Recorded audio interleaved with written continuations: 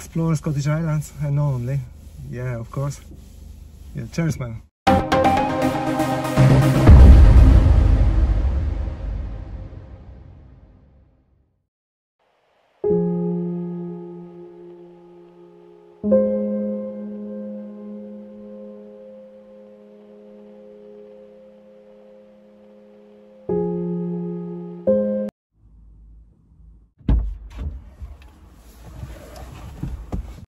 Dzień dobry Państwu, witam bardzo serdecznie i wreszcie z dniem dzisiejszym mogę śmiało powiedzieć, że następują właśnie te długo oczekiwane w sumie przeze mnie najbardziej zmiany na tym kanale, czyli to, co obiecałem Wam od bardzo dawna, a będziemy podróżować z namiotem, także będziemy się pchać w takie miejsca najbardziej odludne, najbardziej dzikie, yy, takie, gdzie no myślę, że nie widzieliście takich miejsc, tak? Dobra, ja jadę po namiot. W tym momencie znalazłem fajną ofertę. Yy, W tym odcinku Wam troszkę opowiem o tym namiocie. Dlaczego namiot, a nie kamper albo hotel? No hotel przede wszystkim, jeśli chodzi o takie intensywne podróżowanie po Szkocji takie, takie szczegółowe zwiedzanie, że ja tak powiem. No hotel daje mm, pewne limity, tak? Hotel bardzo, bardzo limituje. Nie w przyszłości zdecydujemy się też na taką opcję i jakiegoś kampera w przyszłości będziemy mieć.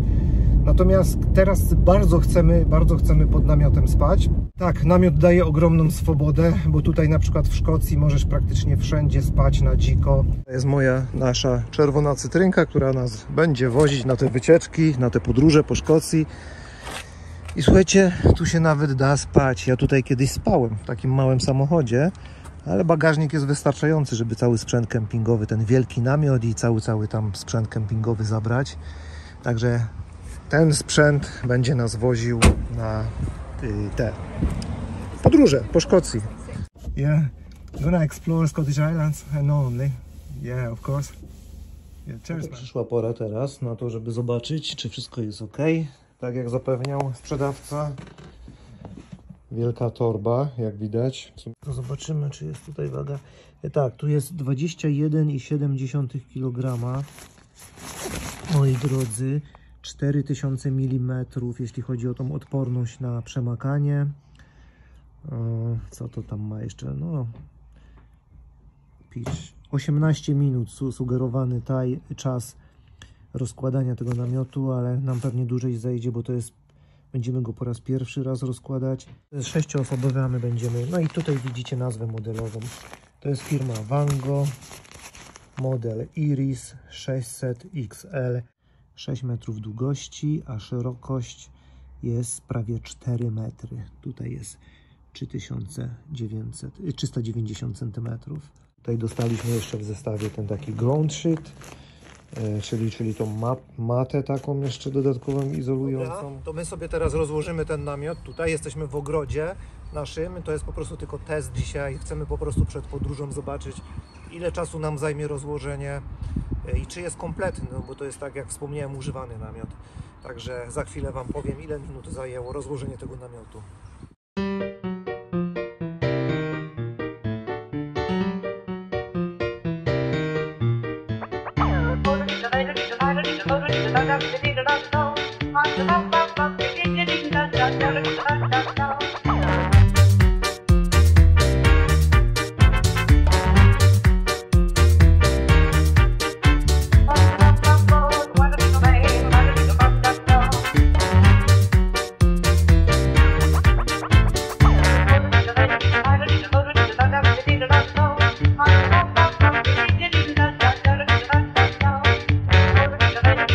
Nie będziemy do końca rozkładać dzisiaj tego namiotu, bo jest bardzo, bardzo silny wiatr.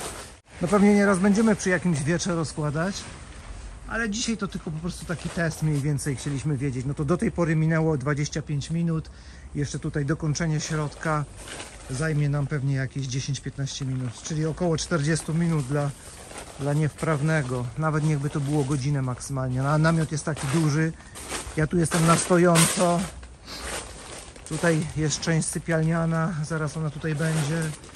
No jak widzicie namiot nie jest jeszcze rozciągnięty, nie jest odpowiednio jeszcze e, rozplanowany, nie jest odpowiednio rozciągnięty, naciągnięty, ale w sumie ta powierzchnia tego namiotu to 21 m2 na wysokość 2 metry 10 na szerokość 4 metry. Ale nie jest to takie proste jak piszą w instrukcji, ale jak na pierwszy raz to jakoś tam daliśmy radę. Czas składania 18 minut to jest raczej zbyt optymistyczny. No. Aha, jeszcze muszę dodać, że to nie był profesjonalny test, yy, czy jakiś tam po prostu test rozkładania, składania namiotu.